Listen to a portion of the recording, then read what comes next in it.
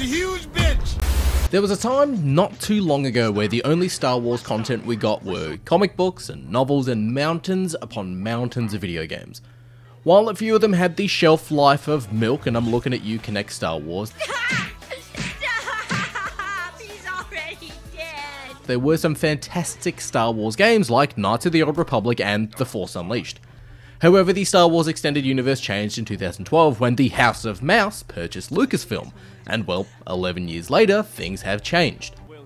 We've got a complete reboot to the Extended Universe, some movies which some are good, some not so good, we got some TV shows which again, some good, some not so good, but not many video games, at least not compared to the mid 2000s. At the time, EA and DICE gave us Battlefront and Battlefront 2, which sadly needed some post launch content to provide a smooth and fun experience. Sadly, the launch of Battlefront 2 left a sour taste in some fans' mouths, and the announcement of another Star Wars game, this time developed by Respawn, the developers behind Titanfall and Apex Legends, didn't excite fans as much as it should have.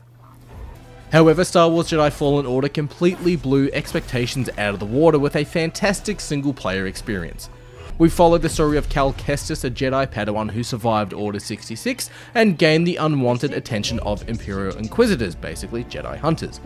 From there, we met the crew of the Mantis with Greez and Cere. We befriended a surviving Night Sister on Dathomir with Merrin and attached ourselves to the adorable BD1 droid. Now, four years after the release of Fallen Order, we continue Cal's story in Star Wars Jedi Survivor. I'm Cal. This is BD1. My bantable mum dubbed me Scuba Steve. Scuba the Fisher, am I? Scuba Steve! Damn you! You like that? Set five years after the events of Star Wars Jedi Fallen Order, Cal has grown, as has the crew of the Mantis. Cal is now a member of Saw Gerrera's partisans fighting the ongoing war against the Empire alongside BD-1. After five years of constant fighting, Cal is constantly on the run from the ever-growing and powerful Empire. And after a great reintroduction to Cal and BD-1, we notice that Cal isn't doing missions with his original crew, and the Mantis is now Cal's ship. With the ongoing war taking its toll, Cal makes a discovery on an outer rim planet that might help with his fight against the Empire.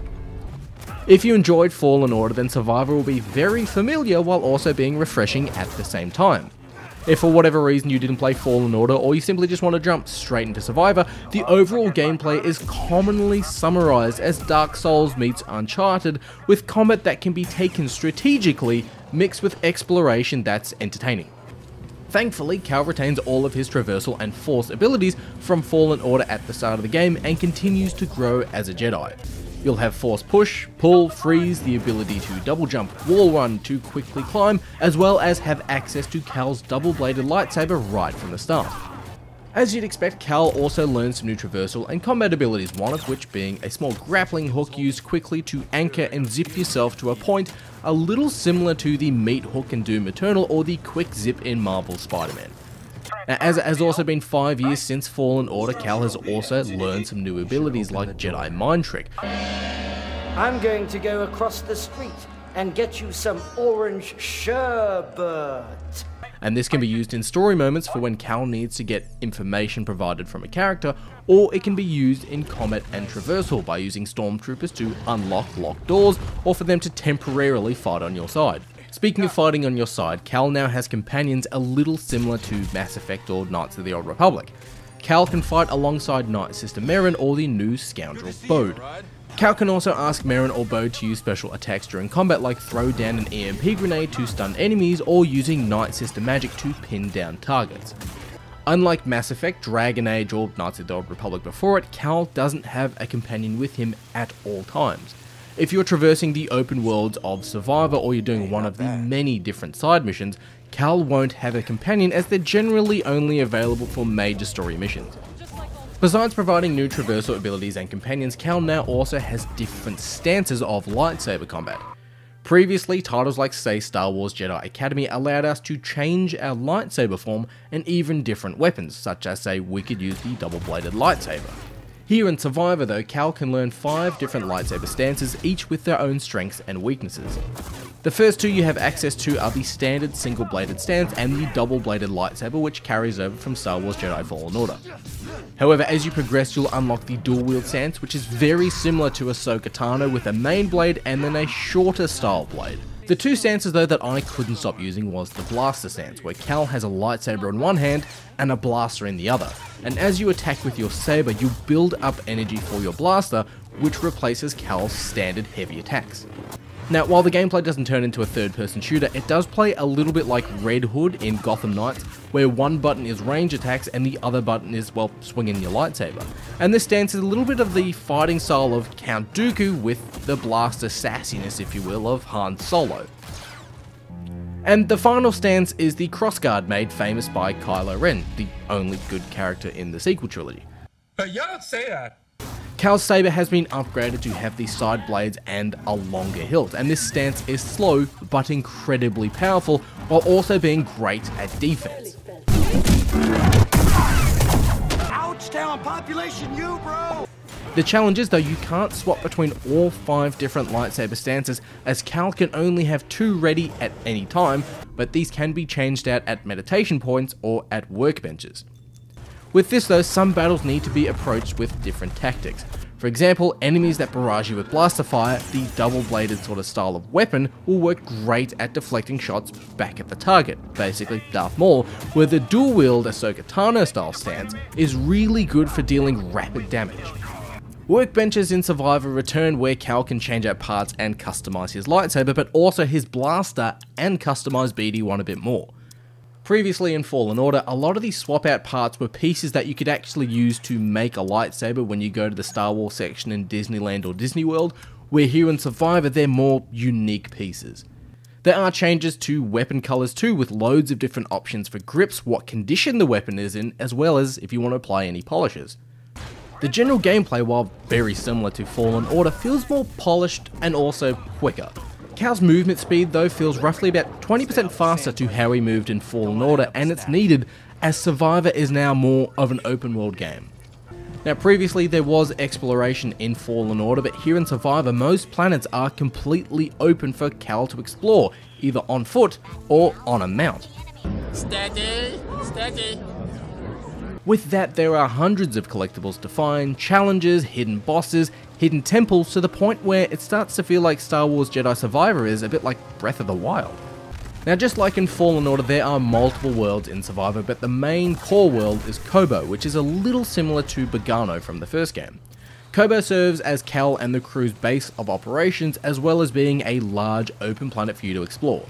Now, the planet or the base has a similar vibe to the Normandy in Mass Effect in that you can save and recruit people to your base, you can play holochess, you can listen to music, you can collect fish, and yes, gardening does return from Fallen Order, but it's a bit more interactive now.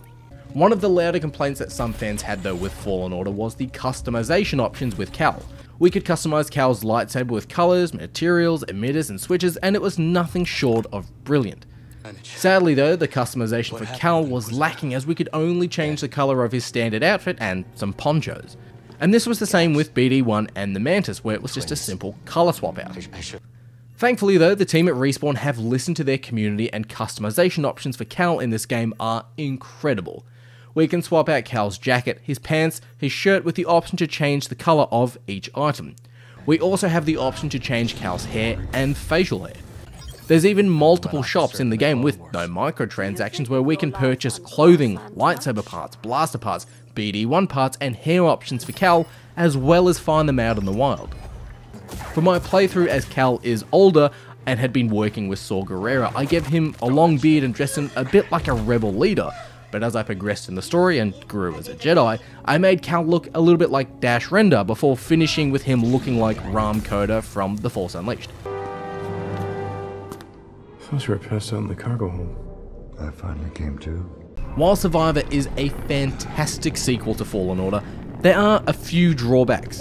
Now I played this on PC with a 3070, 32GB of RAM and an Intel i9 and I found during multiple points the frame rate would dip to around 15 to 20 frames per second when exploring out in the open world or even as something as simple as opening the galaxy map. And multiple times from this too, Cal would fall off edges, fail to jump or block crucial attacks. The core story 2 for Survivor has the same problem as Fallen Order. Fallen Order's main story was centered around opening a Jedi vault and retrieving a holocron which showed Force sensitive children to rebuild the Jedi Order. But as Fallen Order takes place before the events of A New Hope, we know that the Jedi Order isn't rebuilt. But the main villain in the Second Sister and the Inquisitors was what kept the story flowing, with the final mission being fantastic. So good that the Obi-Wan Kenobi series flat stole it. Lisa, what's the answer to number seven? Survivor, on the other hand, doesn't have an enemy as imposing as the Second Sister, and the Empire aren't the core focus or enemy in the story. Now, that's not to say the core villain or story is weak, it's just not as engaging as being chased by the Imperial Inquisition. The score slash soundtrack 2 for Survivor isn't as memorable as Fallen Order. In most instances, the villain is as good as their introduction. Look at Darth Vader, Michael Myers, Sauron, the T-800 and shit, even Ivan Drago, Come on, get your hands up, man. You need an interpreter? It's time to go to school. You will lose. You're gonna die. And the music is a key component to this. The introduction of the Second Sister was unique and chilling. The score, The Inquisition by Stephen Barton and Gordy Haab in Star Wars Jedi Fallen Order is tense and it sounds more like a horror movie than Star Wars with deep brass and frightening strings. Padawan? Someone I killed, perhaps? What Jedi gave their life so that you might live? Sadly though, the score in Survivor sounds like generic Star Wars and the soundtrack left no real lasting impression. Other than that, the only problem I have with Survivor that I had a little with Fallen Order, but more so here, is customization. Now, as I said, I started the game with Cal looking like a rugged member of the Rebel Alliance before picking some armor that made him look like Dash Rendar. And I found myself going with a look that, yeah, looks like Rahm Kota. But I found myself constantly going into the customization menu or the workbench, looking at what jacket does this look like and how does this go with this and changing my lightsaber color constantly. And to the point where I mentally sort of made Cal evolve in my head. Then once I finally picked an outfit, found that the lightsaber on Cal's belt would clip through his cape or through the jacket, and small moments like that just kinda broke me, but hey, this point is just purely personal. Why are you the way that you are? Having said that, the character development in Star Wars Jedi Survivor feels heavily inspired by, say, The Empire Strikes Back or Return of the Jedi. Every character has developed and matured, and fans of Fallen Order will love seeing Merrin, Greez, and Cere again, as well as how they've changed after the events of Fallen Order. We see Cal at the start of Survivor, and seeing how far he's grown over the past five years is a little similar to how we see Luke at the start of Return of the Jedi, but not as cool because nothing is as cool as Luke in Return of the Jedi. I'm gonna take your fucking collar off, Walter. Come here. Thank you. Now do what you want. Star Wars Jedi Survivor does what every sequel should do improve from its previous release, add new gameplay features, and fix any issues the community had with its previous entry. Whether you're a hardcore Star Wars fan or simply just loved Fallen Order before it, Star Wars Jedi Survivor is the Empire Strikes Back to Fallen Order's A New Hope.